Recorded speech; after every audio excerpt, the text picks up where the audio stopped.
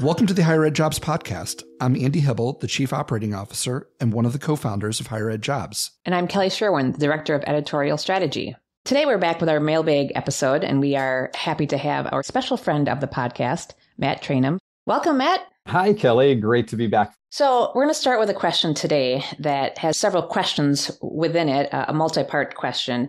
And it's from a listener that is in the finance, accounting, and budgeting area of higher education. But this is the type of question that could be applicable in, in a broader sense. So, I'll start reading the questions and we'll, we'll jump in there. So it starts with Is the hiring manager or search committee generally open to training a candidate in, say, certain software packages if that candidate doesn't currently have those specific packages on his or her resume? It's a long question, isn't it, Kelly? You've got it. Sorry. Yeah, I'm, I'm, I'll keep going here. The next part is Can one negative reaction from just one search committee member sink a candidate's chances? Moving on to the next question what are the personal qualities that search committees associate with cultural fit in these areas? And lastly, does age discrimination exist in the higher education job search in these areas? That was a mouthful. It, was a lot. Was it five parts in there? Yeah, we had a lot there. so thanks for the question. And I'll just say that has a gestalt, what we have is a candidate who isn't getting a job and is trying to figure out why right? Each of those things. This candidate hasn't gotten a job, they're trying to figure out why. And I will say that is such a hard pursuit. So we're at the end of a search process. This candidate hasn't gotten a job and they're reflecting and they're saying, Did I lack a skill? Did I anger someone? Was I not what they expected? Or even was it a part of my identity? And those are those are really hard reflections. And part of a reflection I will give back is that there is not ever going to be a really clear answer to those reflections. So, this post interview, why didn't I get a job reflections are very hard without complete answers and can often be a distraction from more productive reflections.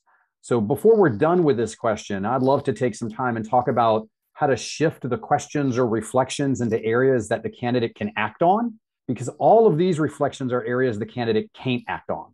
They're about the the institution and something that happened at the institution that they're not going to have full awareness. I love the direction you're going. It makes total sense. So that said let, us talk some about each of these individual elements. And uh, the first one i think was around training of certain software packages is how the candidate mentioned it. And, and you might make that a little bit more generic and say hey how much training is it okay to need when i come into a job and i think there's going to be a lot of the answers to this particular candidates questions that are going to be it depends. And so I think it depends. What percentage of the job involves that certain software? How hard is it to learn that software? How much expertise does the candidate need in that software package? When we look at the candidate pool as a whole, what is the school looking for? Is it looking for a technical expert on that package? Even if it's a small percentage of the job, is this the only person that holds it? or are there five other people in the unit that hold that technology and expertise around that software is less relevant that really specific question about technology just has a whole lot of it depends on it if i'm thinking the wrong way but maybe i'm reading it into it too much it's almost like the person's asking if they should even apply and go through the process if they don't actually have that that current experience and it sounds like i mean i know you're saying the answer does depend but do you have a thought on that if, if a person's lacking a skill should they throw their hat in the ring my answer to that is yes. There is in any job description going to be 30 bullets of what's expected and hoped for. And most candidates won't bring all 30. Occasionally that magic moment happens, but they might bring all 30 of the skills, but might not bring the dispositions or other backgrounds that the institution's looking for. So if that's perceived as a less than quarter percent of the role, and this candidate has the other capabilities, then yeah, yeah, totally, I would apply. I would probably just chime in here with I think there's a couple of different areas. For basic software, in today's day, you better feel comfortable with Zoom and Microsoft Teams and Google and everything else that's out there. And if you're not quite comfortable with one of them, it's kind of on you to do that sort of stuff, all your basic technology you have to use in an office today. I would say on the more specialized, I think if there's kind of a Coke and Pepsi in, in your neck of the woods and in higher education, and you've been 20 years using Coke and now you're going to move to a Pepsi school, you're going to have a fundamental understanding of the theory behind both programs. And I think employers are going to be a little bit more tolerant. Not everybody is on the same software. What I would say is if there's a predominant player and they're not using the predominant player, but you are, they're going to have a hard time with a lot of other candidates if you're kind of moving to a school which is using an exotic accounting software package nowadays. So it really does depend, I think, on the situation. But don't think in those instances that you're going to be all alone in that. You're going to need to probably show your knowledge of using the predominant package, but they're going to realize whoever they bring in is probably going to need to get up to speed with kind of this a little bit different of an animal that they have. Andy, the final part of this question asked a little about age discrimination and not to go too far down that path. But if you put this question and that question together, there might be a merging where you're at here, which is are my skills relevant? And I think it is on the candidate to make sure their skills are still relevant. I was doing a executive search uh, a little bit ago and had a candidate for vice president for student success who didn't know about EAB's work in student success. Well, EAB, you might not have worked with them, but they work with probably a thousand schools. they work with hundreds and hundreds of schools. So having an impression that they do the work, understanding that they're a, a tech solution would make sense for someone coming in, even if you might not have worked with them before. And so I think there's a there's a bit of a way where you show your relevance by showing your awareness of the current place technology is with whatever you are, whether it's finance or student success or operations or athletics or advancement, knowing the technologies that are being used is part of showing that you're keeping up to date. I love that. So let's jump to this the second one, which is can one negative reaction from just one search committee member sink a candidate's chances? So you all know that I send out these questions to colleagues around the country and see how they respond to it. And I got the same response from everyone on this question, which is, of course it can. And then a whole lot of it just depends. And so, who is that person with the negative reaction? How strong is the reaction? What is the basis of the reaction? Is it a perception of the candidate, or is it based off of something the candidate actually did or said? And so, if the candidate, I'm going to do air quotes here, messed something up, was that a clear mess up that others should know better about, or was it not? Who is in favor and so, are there other people advocating for the candidate while someone else is advocating against that candidacy? And so, there were a lot of it's depends. There were a lot of, of course, it can. And then I had a, uh, a VP from the West Coast said, really, this is a question of the search committee chair's skill and ability to manage that kind of moment in a search committee meeting. So, someone starts saying they don't like a candidate and the search committee chair is able to have that be heard and then still control the power dynamics, any bias that might come up. This is a good moment to say most search committees are not unanimous. It's pretty common for people to like different candidates. And so one person not liking you is not going to sink your candidacy. One person having a very strong reaction might have some of that complexity. I'll quote a former president who wrote to me and said, in response to this question, and I'll put in quotes here in highly competitive searches, the smallest things can count. And so, certainly, having not everybody on the search committee react favorably might be one of those things. I hear that, and I kind of want to temper that thought just a bit. Particularly in today's market, the idea that the search committee is is kind of a papal conclave and is going to anoint somebody the next pope sounds really in that response. And I know the president's been on many parts of a search committee and, and they know that it doesn't always go this way, that we'll choose our number one candidate and we're going to make the offer that we want to make to that number one candidate. And they're going to be delighted to come work for us. If you get a job offer, I'd say in today's day and age, I would not presume for a second that you are the first candidate that's there. And if I'm sitting on a search committee, I would not be thinking even my first, second, or possibly even third candidate is an absolute go if I make that offer. There's a lot of different moving parts in that and what candidates are doing. So when you're looking at that, that nuance, it's highly competitive as far as positions go. But I also think it's pretty competitive as far as candidates making choices depending on your institution, the location of your institution, their family situation at the time where they are, the career. So understanding here that there's a little bit of a give and take that there's probably going to be on any of those choices, your hire is going to have a question mark or two. Is it somebody not liking them? Is it that they're not up to speed on something?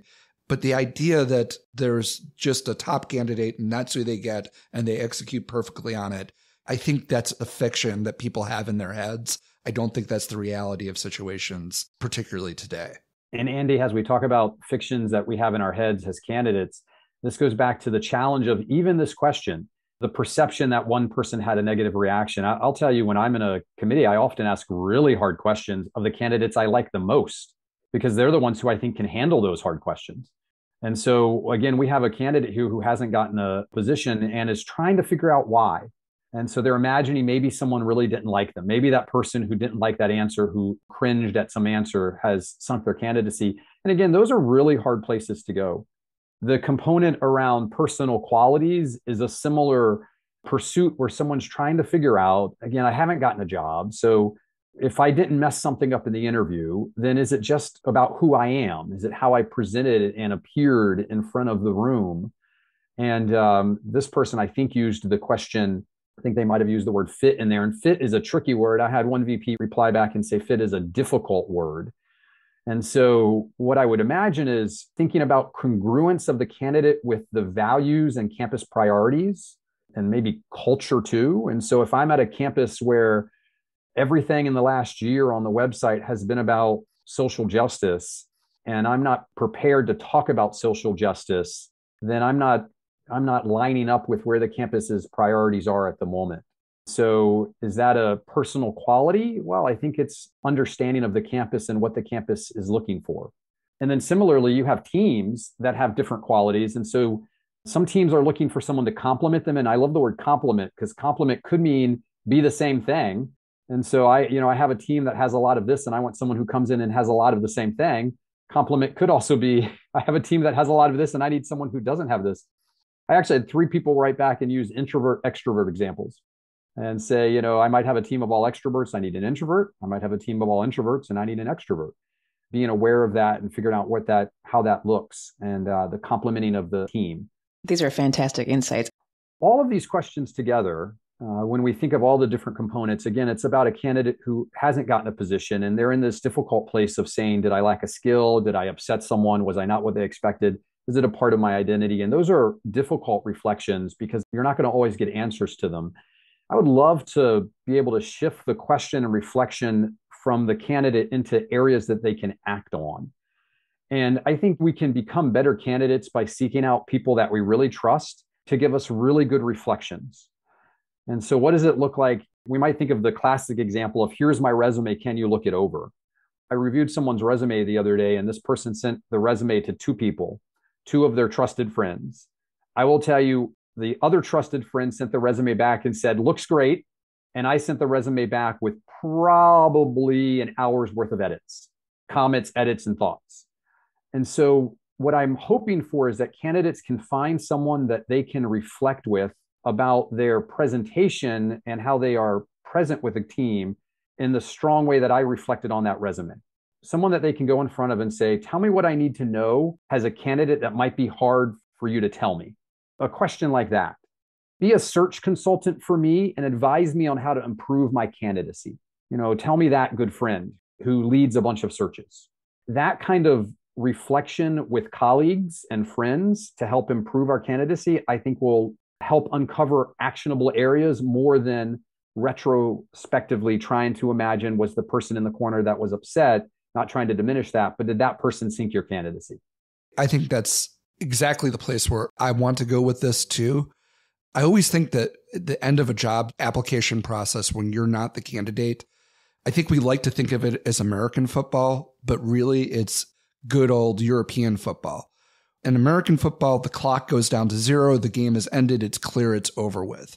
I think job search, this is European football, where the clock goes down to zero, you think it's over, but there's bonus time that's added afterwards. And you really, if you're a fan at the game, you don't really know how long it is that the officials are keeping time on the field, and you really don't know. So my first caveat is you need to know that the bonus time is ended before you shift from an active job application to what the next stage is. Because I believe the next stage offers a great springboard. One for that fostering of that feedback, because it's somebody who's seen you in action and can give you a real feedback. But also, too, it's just good networking. This is somebody that maybe you connected with, that you could keep up with, who's a professional in your field, and could be a springboard to another open position at that institution or another institution.